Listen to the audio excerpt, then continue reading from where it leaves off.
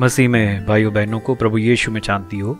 आज का हमारा वचन है फिलिपियो की पत्री, उसका तीसरा भाग, उसकी दसवीं आयत, जिसमें कहते हैं, और मैं उसको और उसके मृत्युंजय की सामर्थ्य को और उसके साथ दुखों में सहभागी होने के मर्म को जानूं और उसकी मृत्यु की समानता को प्राप्त करूँ।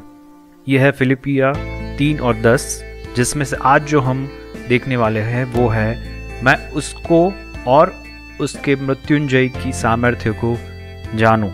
पॉलुस यहाँ सामर्थ्य को जानने की बात कहते हैं। सामर्थ्य हमें हर चीज़ के लिए सामर्थ्य चाहिए होती है और हमारा सामर्थ्य हमेशा दिखता भी है। हमें हमारे हर रोज़ के कामों में सामर्थ्य की ज़रूरत होती है। सामर्थ्य के बिना तो कोई काम हो नहीं सकता है। अगर हम इंसानी शरीर की बात करते हैं तो हमें सामर्थ्य चाहिए।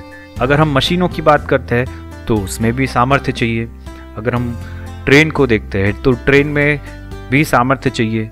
डब्बे उसके साथ जुड़े होते हैं उसके सारे कंपार्टमेंट एक के साथ एक जुड़े हुए होते। हैं चाहे कंपार्टमेंट कितने भी अच्छे हो, पर जब तक इंजन नहीं लगेगा, तब तक वो चल नहीं सकेंगे। वो एक जगह ही रहेंगे और एक जगह पड़े पड़े बेकार हो जाएँगे। पर जब उसमें इंजन लगता है, उसके आगे इंजन लगता है, तब वो उसको खींच के लेके जाएगा और जो कंपार्टमेंट थे वो कुछ काम आएँगे। पेड़ पौधों का एग्ज़ाम्पल ले तो पेड़ पौधे में हर एक डालियों पे पत्ते लगे हुए थे कई डालियों पे अपने फल लगे हुए होते।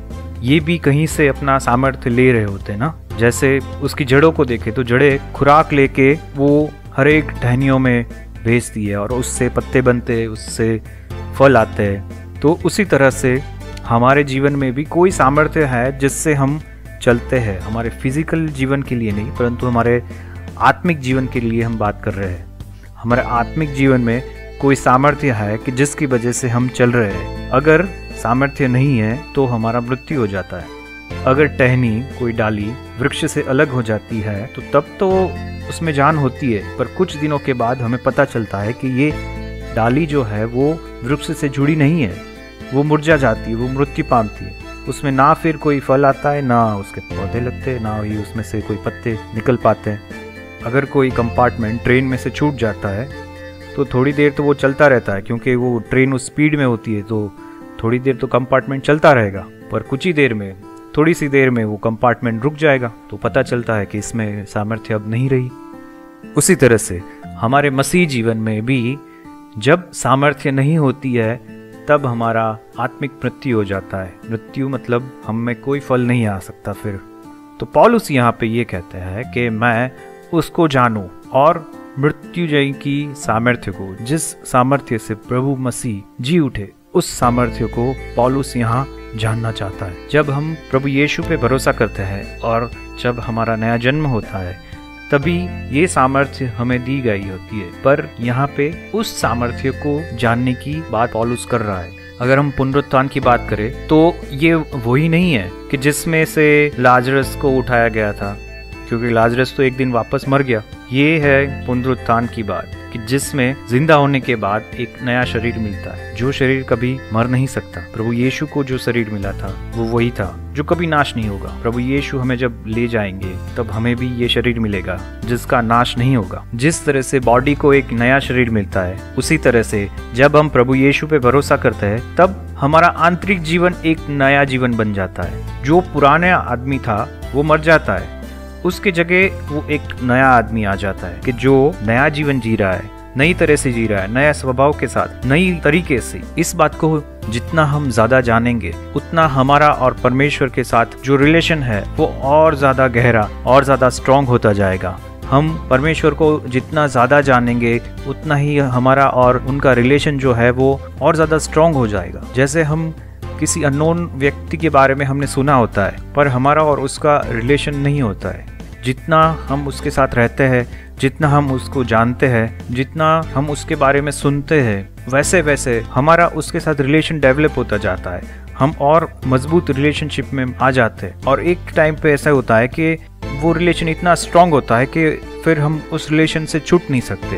हम इतने करीब आ चुके हम इतने बॉन्डिंग में आ चुके होते हैं कि वो रिलेशन हमारा जीवन बन जाता है। परमेश्वर के साथ हमारा इसी तरह का संबंध बन जाता है। जब हम परमेश्वर को और ज़्यादा जानते हैं और ज़्यादा उनको समझते हैं, पॉलुस यहाँ कहता है कि मैं उसको जानूं और उसके जी उठने की शक्ति को। पॉलुस की यही प्राथमिकता है कि वो परमेश्वर को जाने और जिस सामर्थ्य से उनको जिलाया गया, उस सामर्थ्य को वो जानना चाहता है। अगर केवल प्रभु यीशु की हमारे लिए मृत्यु हुई होती और वो जिलाए नहीं गए होते तो बाकी लोगों में और हम में कोई फ़र्क नहीं होता। पर हमारे परमेश्वर ने मृत्यु पे जीत हासिल करी, मृत्यु को हरा के, शैतान को हरा के फिर से ज़िंदा हुए और सदा के लिए ज़िंदा हुए। यही हम सबसे अलग है और यहाँ ही हमें ये पता चलता है कि हमारा परमेश्वर सबसे महान है, सबसे शक्तिशाली है, जिसको मौत, शैतान या कुछ भी छू नहीं सकता। छुएगा भी तो हमारा परमेश्वर ही उसमें जीतेगा। आज प्रभु हमें भी वो सामर्थ्य देता है और उस सामर्थ्य को हमें और जानना है, जिससे कि वो सामर्थ्य हम दृढ़ हो। तो प्रभु यीशु को जानना वो क्या बात है? आइए हम देखते हैं। पुराने नियम में यर्मिया उसका नौवा भाग तेईस और चौबीस आयत। उसमें ये कहते हैं यह कहते हैं, बुद्धिमानों को अपनी बुद्धिमानी की डिंग नहीं मारनी चाहिए। शक्तिशालियों को अपने बल का बखाना नहीं करना चाहिए। संपत्तिशाली को अपनी संपत्ति की हवा नहीं बांधनी चाहिए। चौबीस आयत। परंतु जो घमंड करे, वह इस बात का घमंड करे कि वह मुझे जानता है और समझता है कि मैं ही वह यहुआ हूँ जो पृथ्वी पर करुणा, न्याय और धर्म के काम करता है, क्योंकि मैं इन्हीं बातों से प्रसन्न हूँ। परमेश्वर का वचन क्या कहता है कि अगर कोई घमंड करे तो वो इस बात से घमंड करे कि वह मुझे जानता है और समझता है। पुराना नियम में यहुआ ने ये वचन यर्मिया को दिया था। लोग आज के ज़माने में हमारी पृथ्वी पर कोई बुद्धिमान होता है या कोई शक्तिशाली होता है या जिसके पास बहुत पैसा होता है या जो कोई बहुत सुंदर होता है, वो बड़ा आदमी होता है, या उसको लोग ज़्यादा मानते हैं और लोग उसकी ज़्यादा सुनते हैं। पर परमेश्वर क्या कहता है कि बुद्धिमान होना, या सुंदर होना, या धनी होना, या शक्तिशाली होना, उससे भी ज़्यादा परमेश्वर को जानना और उसको समझना, ये बड़ी बात है। और एक वचन हम देखते हैं। यहुना सत्रह और तीन में ये कहते हैं कि और अनंत जीवन यह है कि तुम अदैत सच्चे परमेश्वर को और यीशु मसीह को जिससे तूने भेजा है जाने। यहाँ परमेश्वर का वचन कहता है कि प्रभु यीशु को जानना वो ही अनंत जीवन है। परमेश्वर को जानना ये बहुत ही आवश्यक बात है। दूसरा पितर एक और तीन में ये कहता है, क्योंकि उसके ईश्वरीय सामर्थ्य ने सब कुछ जो जीवन और भक्ति के संबंध रखता है, हमें उसी की पहचान के द्वारा दिया है, जिसने हमें अपनी ही महिमा और सद्गुणों के अनुसार बनाया है। क्या कहते हैं? सब कुछ जो जीवन और भक्ति के संबंध में रखा है, हमें उसी की पहचान के द्वारा दिया है। परमेश्वर की पहचान के द्वारा ही हमें जीवन और भक्ति मिलती है। उसको जानने का परमेश्वर ने हमें सामर्थ्य दिया है। फिर है पहला यहुना पाँच और बीस में ये कहते हैं कि और यह भी जानते हैं कि परमेश्वर का पुत्र आ गया है और उसने हमें समझ दी है कि हम उस सच्चे को पहचाने और हम उसमें जो सत्य है, अर्थात उसके पुत्र प्रभु यीशु में रहते हैं, सच्चा परमेश्वर अनंत जीवन यही है। प्रभु यीशु ने हमें उसको जानने के लिए सामर्थ्य दी है अपनी, ताकि हम उसको और ज़्यादा जाने और हम अनंत जीवन को पाले प्रभु यीशु ज़मीन पे इसलिए आए थे कि हम परमेश्वर को और करीब से जान पाए, जीना हम और अच्छे से सीख पाए। क्योंकि वो हमारा ज़िंदा उदाहरण था। परमेश्वर ने यहाँ आके किस तरह से जीना है, वो हमें सिखाया। और हम परमेश्वर की महानता को और परमेश्वर के पराक्रम को हम और गहराई से समझ पाए और ज़्यादा हम क्लियर हो गए कि किस तरह से परमेश्वर हमारे लिए अपना खुद का बेटा दे सकता है, किस तरह से वो हमें प्यार करता है, किस तरह से उसका पराक्रम है जो मृत्यु के ऊपर विजयी होता है। ये है प्रभु यीशु को जानना। बाइबल हमें हर जगह इस बात का बहुत महत्व है कि हम प्रभु यीशु को, परमेश्वर को जाने। कहीं एक ही जगह नहीं, परंतु पुराने नियम या नए नियम। दोनों में ये इस बात का महत्व है कि हम प्रभु को और करीब से और अच्छे से जाने, तभी हम उसके सामर्थ्य को पा सकेंगे। ये हमने करी प्रभु यीशु को जानने की बात। पर हम परमेश्वर को जानेंगे कैसे? तो परमेश्वर को जानने के लिए हमारे पास प्रभु का वचन है, उसको पढ़े। हमारे पास प्रभु ने बहुत सारे सेवक दिए हैं, उनको हम सुने, जिनके द्वारा प्रभु हमसे बात करते हैं, जिनके द्वारा वो वचनों की समझ देते हैं, जिनके द्वारा वचन और ज़्यादा प्रकाशित होते हैं। हम, हमारे आसपास कितने सारे मसीही लोगों को देखते हैं, जिनके जीवनों में प्रभु ने काम किया होता है। उनकी गवाही को हम देखते हैं, सुनते हैं। जिनके द्वारा हम समझते हैं कि परमेश्वर किस तरह से काम करते हैं, किस तरह से उनकी महानता है। परमेश्वर को हम इस तरह से जान सकते हैं। और ये तो हो गया कि हम खुद से परमेश्वर के वचन पढ़े, उनको सुने और लोगों की गवाही के द्वारा हम परमेश्वर को जान सकते हैं। परंतु जब हमारा उनके साथ रिश्ता कायम होगा, तभी हम और गहराई से उनको जान सकेंगे। तभी हम और ज़्यादा बारीकियों से उनको पहचान सकेंगे। सबसे पहली बात है परमेश्वर पे विश्वास करके हम उद्धार पाए। विश्वास करें कि परमेश्वर ने हमारे लिए उसका पुत्र दिया, जो हमारे लिए मृत्यु को सौंपा दिया और हमारे लिए उठाया गया, जिसके द्वारा हमें जीवन मिला और हमारे पापों की माफ़ी मिली। हम उस पर भरोसा करें और जो काम उसने किए उन कामों पे हम उस पर भरोसा करें। दूसरी बात है, परमेश्वर के साथ समय बिताए। प्रार्थना में समय बिताए। अकेले में समय बिताए। कोई आसपास नहीं हो, क्योंकि जब भी लोग हमारे आसपास होते हैं तो हमारे जो शब्द होते हैं, जो हमारी प्रार्थनाएँ होती है, जो हम वर्शिप होती है, उसके शब्द बड़े ही लिमिटेड हो जाते हैं। परंतु जब हम अकेले होंगे, परमेश्वर के साथ हम समय बिताएँगे, तब हम असीम बातें कर सकते हैं उनके साथ। अपने सुख, अपने दुख, अपनी परेशानियाँ, अपनी टेंशन्स सब कुछ हम परमेश्वर के साथ शेयर कर सकते हैं। परमेश्वर खुद भी यह चाहते हैं। क्या परमेश्वर हमारे बिना बोले हमें सब कुछ नहीं दे सकते। फिर भी परमेश्वर चाहते हैं कि हम प्रार्थना में उनके साथ रहे, उनसे बात करें। जैसा एक पिता अपने बच्चे से चाहता है कि वो उसके साथ रहे, उसके साथ बातचीत करे, उनके साथ समय बिताए। यही हमारे परमेश्वर की इच्छा है। तीसरी बात यह है कि उसकी बातों को जो उसने हमें कही है, उन बातों को हम करें। परमेश्वर ने जो हमें कहा है, वो हम करें। परमेश्वर का वचन कहता है, इब्राहिम को पता नहीं था कि उसको कहाँ जाना है, पर परमेश्वर ने बोला कि तुम निकल जाओ और परमेश्वर की बात को इब्राहिम ने माना और वो निकल गया। परमेश्वर हमारे पास उसी तरह का भरोसा, उसी तरह की विश्वास चाहते हैं, जो भी परमेश्वर में कहता है, वो बस मान ले हम। यही सच्चा विश्वास है, पूरी बात को समझ के, उस पर सोच के, फिर बात को मानना, ये विश्वास नहीं है। परंतु परमेश्वर जो हमें कहता है, उसको पूरी ना भी समझे, फिर भी हम उस बात को फॉलो करें, यही भरोसा है। अभी हम देखते हैं पुनरुत्थान का सामर्थ्य, जिस सामर्थ्य से प्रभु यीशु को जिलाया गया, उस सामर्थ्य को। पॉलुस यहाँ पे कहीं पे ये नहीं कहता कि मुझे सामर्थ्य और चाहिए, पर पॉलुस यहाँ पे क्या कहते हैं कि जो सामर्थ्य उसको ऑलरेडी दिया गया है, उसी सामर्थ्य को वो और ज़्यादा जानना चाहता कि ये सामर्थ्य कितनी बड़ी सीमाएँ है, कितनी फैली हुई सीमा है, ये सामर्थ्य कितना ज़्यादा सामर्थ्य है। ये पॉलुस जानना चाहता है। अफिसियो, एक उन्नीस में क्या कहता है? और उसकी सामर्थ्य, हमारी और जो विश्वास करते हैं, कितनी महान है। उसकी शक्ति के प्रभाव के, उस कार्य के अनुसार। विश्वासियों को ये सामर्थ्य ऑलरेडी दिया गया है। पर उस सामर्थ्य को जानने के लिए पॉलुस यहाँ कहते हैं, सामर्थ्य पर है क्या? या इस सामर्थ्य से क्या होता है? इस सामर्थ्य हमारे जीवन में कैसे काम करता है? सबसे पहली बात हम देखते हैं तो पुनरुत्थान का सामर्थ्य वो है जो हमें पापों की माफ़ी देता है। उसके मरने और ज़िंदा होने के द्वारा हमें पापों की माफ़ी मिली है। हमारे पाप सारे धुल गए। रूमी चार पच्चीस कहता है कि वो हमारे अपराधों के लिए पकड़ाया गया और हमारे धर्मी ठहराने के लिए जिलाया भी गया। हमारे पापों के कारण, हमारे पापों से छुड़ाने के कारण उनको मारा गया और हमारे ही लिए, क्योंकि हम धर्मी हो सके इसके लिए परमेश्वर को जिलाया गया। वो हमारे बदले में, हमारे पापों के बदले में बलि हो गया कि जिससे हमें माफ़ी मिले। तो ये सामर्थ्य हमें पापों से माफ़ी देता है। दूसरी बात यह है कि पापों के ऊपर हमें विजय देता है। उसके ज़िंदा होने के द्वारा शैतान को हराया गया।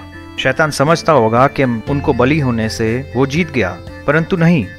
उनके ज़िंदा होने के द्वारा परमेश्वर ने शैतान को हरा दिया। वैसे ही वो सामर्थ्य हमें भी मिलती है कि हम हमारे पापों के ऊपर विजय हो सके। पुराना जो भी था, वो सब कुछ मर गया है।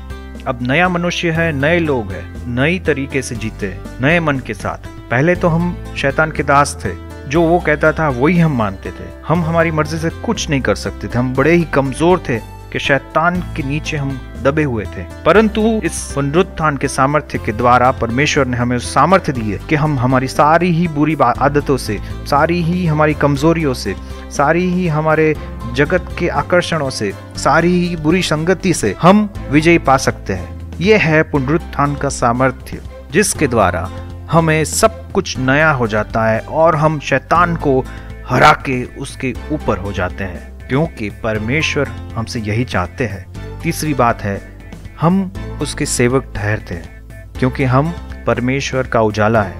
हम परमेश्वर की मशाले हैं, हम परमेश्वर का दिया है कि हमारे ही द्वारा वो अन्य लोगों तक पहुँचता है। परमेश्वर ने जाने से पहले अपने शिष्यों को यही कहा कि सब देश में जाओ और सबको मेरी बात बताओ। ये हक उन्होंने ज़िंदा होने से, उसके पुनरुत्थान से ये सामर्थ्य हमें दिया है। जो काम परमेश्वर ने हमें सौंपा है, उसके लिए वो हमें अपनी सामर्थ्य देते हैं। देखिए, दूसरा करंथीय पाँच, उन्नीस और बीस में ये बात हमें जानने मिलती है, अर्थात परमेश्वर ने मसीह में होकर अपने साथ संसार का मेल मिलाप कर लिया और उनके अपराधों के दोष उन पर नहीं लगाए और उसने मेल मिलाप का वचन हमें सौंप दिया। सो हम मसीह के राजदूत हैं। मानो परमेश्वर हमारे द्वारा समझाता है। हम मसीह की ओर से निवेदन करते हैं कि परमेश्वर के साथ मेल मिलाप कर लो। हम क्या है? हम है मसीह के राजदूत, परमेश्वर के मैसेंजर्स हैं और परमेश्वर हमें इस काम के लिए सामर्थ्य देते हैं। हम तो बहुत ही कमज़ोर थे, हमारे में कोई सामर्थ्य नहीं होता है, पर जब हम कमज़ोर होते हैं, तभी परमेश्वर का सामर्थ्य हम में ज़िंदा होता है और हमारे से ऐसे काम करवाता है जो हम कभी नहीं कर सकते। मछुआरों के द्वारा प्रभु ने पूरी जगत में अपनी सुसमाचार फैलाया। जो पोलुस परमेश्वर का वैरी था, जो उनके अगेंस्ट था, जो प्रभु यीशु को और उनके फॉलोअर्स को परेशान करते थे, उसी पॉलुस के लिए परमेश्वर को फैलाना बहुत ही मुश्किल था। परंतु प्रभु ने उसी के द्वारा ये काम करवाया और बहुत गजब का काम करवाया। ये है पुनरुत्थान का सामर्थ्य। चौथी बात हम देखते हैं कि उसने अपने जैसे होने के लिए हमें ये सामर्थ्य दिया है। परमेश्वर चाहते हैं कि जैसे वो थे उसी तरह हम भी बन जाए। हम उसके स्वरूप में ढलते जाए। जिस तरह से वो ज़िंदा हुए, उसी तरह से हम भी नया जीवन पाएँगे, नया शरीर पाएँगे और ज़िंदा होंगे हम मर जाएँगे, पर ये हमारे लिए एक नया द्वार है परमेश्वर तक पहुँचने का। तो मृत्यु से हमें डर नहीं है, क्योंकि मृत्यु तो वो रास्ता है जो हमें परमेश्वर तरफ़ लेके जाता है। हमें पापों की माफ़ी मिलती है, उसके बाद हमें पापों में नहीं रहना है। हम तो उसमें से निकल के, हम एक नया जीवन लेके निकलते हैं। और प्रभु यीशु के तरह हम जीते। हमारे जीवन से प्रभु यीशु ही दिखना चाहिए। दूसरा करंथिय तीन अठारह कहता है कि, परंतु जब हम सबके उगाड़े चेहरे से प्रभु का प्रताप इस प्रकार प्रकट होता है, जिस प्रकार दर्पण में तो प्रभु के द्वारा जो आत्मा है, हम उसी तेजस्वी रूप में अंश अंश करके बदलते जाते हैं। हम प्रभु की महिमा में बदलते जाते हैं। धीरे धीरे धीरे धीरे हम प्रभु यीशु की तरह होने लगते हैं। उनकी जिस तरह से थी जीवन, उसी तरह का जीवन हमारा धीरे धीरे होते लगता है। और पांचवी बात यह है कि शैतान और उसके जगत से हम बाहर निकल आते हैं। वो बाहर आने का सामर्थ्य प्रभु हमें देते हैं।